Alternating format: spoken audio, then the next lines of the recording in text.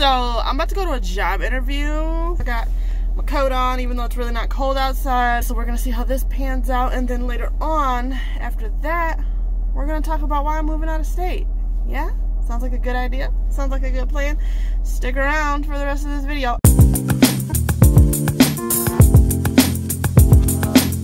Two thousand years later. Just finished my job interview.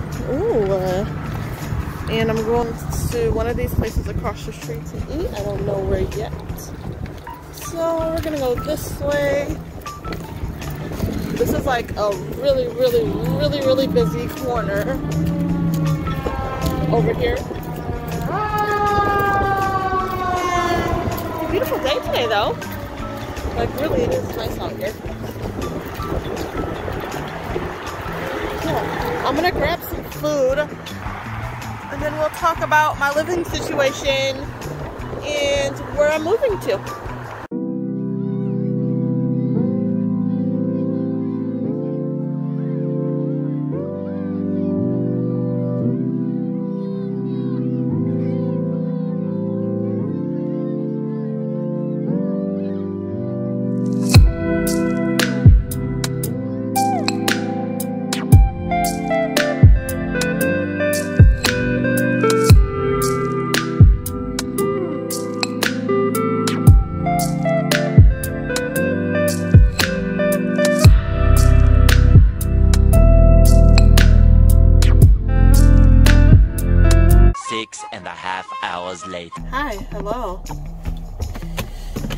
Job interview went good.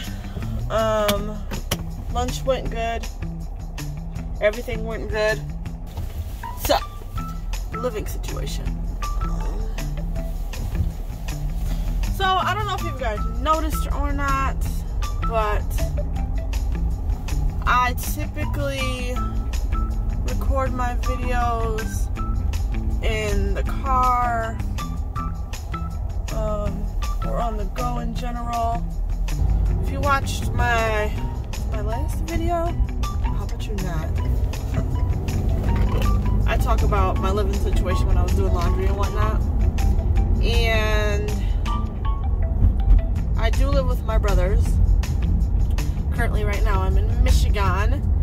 And next year I will be moving to Atlanta to do songwriting. So that's why you guys typically don't see me recording in like a more comfortable, like stable, for lack of a better word, setting. Because of the fact that, you know, I I live with them, but it's just the actual living situation within itself. Um, sleep on a couch, so I mean, I don't have like my own room or anything to where I can, you know, have a little proper setup that's more comfortable and more cozy. And gas is cheap out here. But yeah, so that's my living situation um, and moving out of state. If you guys have moved out of state, no matter where to where, if you have any tips, let me know. I've been watching a lot of videos specifically about living in Atlanta. And, you know, obviously you don't know about it until you actually move there. Now, I did go visit there and I have a vlog on my channel which I will link in the cards and also in the description about you know my first time going there I loved it it felt like home my friends like I could definitely see you living here. And I was like really? Oh my gosh. But yeah that's that's the current situation. This is my first time moving out of state and living on my own completely on my own, I feel like I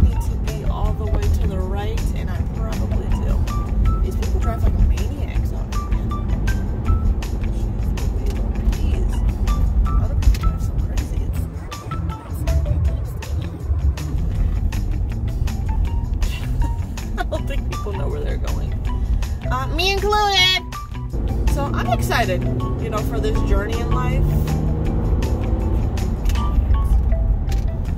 Um, I am nervous because I've never lived on my own by myself, but I know I got this, so I'll be fine.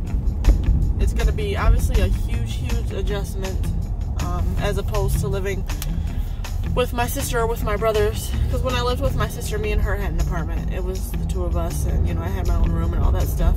I do have older videos of when I used to record in my room, but I'm actually excited to do this YouTube thing in my own space and tailor it to how I want to and what works for me and all that good jazz. So I'm actually really excited. As nervous as I'm, I'm nervous too. I think that's natural. You guys, I'm a very impatient driver, and I low key have road rage. Like low key. You won't see me do it on the channel, but like low key, I've got road rage. Excited to be living in a new state as well, but I'm mainly excited for having my own place.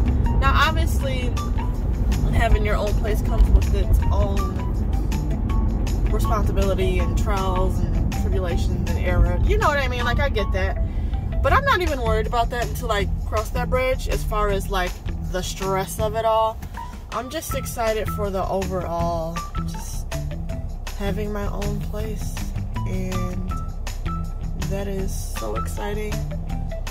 Um, any tips on living on your own? Any tips on moving out of state? Let your girl know. I'm like thinking to myself, I'm like, should I apply for a job like when I'm, I'm literally about to move? Like, there's so many like internal questions I have. I'm like, I'm like, should I apply somewhere before, like right right before I move? Like, I don't know. Say if I'm moving, hypothetically, September 1st of next year should I apply for jobs the week before I move so I have something set or should I actually move? Like there's so many things that I'm trying to figure out here and I'm like, it's a lot going on, but um, I'll figure it out. I'll get it figured out. I mean, I'm not, I'm not too worried, but it is, you know, those are things that I should be thinking about before I actually move because those are important things, jobs and living situations. Because I mean, mean, if I gotta sleep in my car, I will. I'm not that bad at bougie, but I prefer not to. You know, until I get my own place, obviously. But um, yeah. So go ahead and drop some tips and tricks and advice, and you know, job searching and apartment searching. Not specifically for Atlanta, but just like, what do you guys think is the best route for someone like moving out of state, trying to not trying, but getting their own place and stuff? Should they, you know, do that stuff right before they like they move, like, or should they wait until they actually move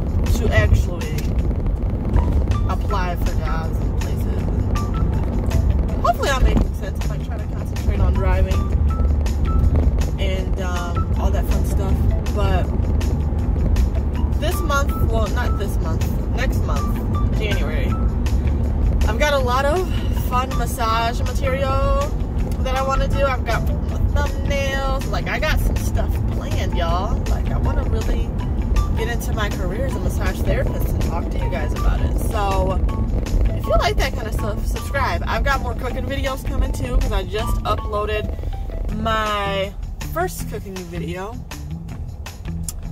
And I'm super duper duper excited to upload oh, to upload more cooking videos. And I'm also excited to upload massage content. And then I'm also going to be doing like vlogs as well, you know, like I have been doing. And I can't wait, you know, I'm going to vlog when I move and that whole situation. Um, maybe my going away party? I don't know about that one. So yeah, I'm going to be vlogging, I'm going to be cooking. I'm going to be doing all the fun stuff that YouTubers do. It's to be a vibe. Cooking, vlogging, moving, like massage material. Once I start songwriting professionally, that's why I'm moving to Atlanta to songwrite. once I start doing that, I'll try to vlog as much of that as I can. We'll see when we get there, you know, but we'll get there because I know I'm to do this. I'm to do this. You know, I got this. I know I got this. I'll make a video of how I got into songwriting, what prompted me and made me want to go into songwriting, how I got into songwriting like myself before I get into it professionally and all that fun stuff. So I'm going to talk about that. And if you haven't already, subscribe to my channel. I mean, why not? It's a party. It's a fun time. It's actually not a party. I'm pretty mellow, but it's a great time. You know, we love it here. I love it here. And I'm trying to get to 50 subscribers by December 31st, and we are on our way there. And I'm so excited, and I love you guys for showing all the love and liking my videos and sharing my videos and for subscribing to my channel. I remember when I only had like four subscribers. Now I'm at 47 and I'm like, oh, it's exciting. Like I, I like it. I have fun with this. This is so fun to me. And I just feel like whatever you do in life, you should be having fun. Like, yes, your career is, or your job, what have you, that, you know, take it seriously. But if you're not having fun and enjoying it, personally, I think you should be enjoying what you're doing as much as possible. You know, everything has its pros and cons, obviously, but yeah, I'm excited and like this video, subscribe to my channel. I upload videos every single Monday. I'm gonna check out, get home, well, to my sister's house, and I'm trying to finish this year out strong and get to 50 subscribers. And if we can surpass, that, even better. But I'll see you guys next week on Monday. And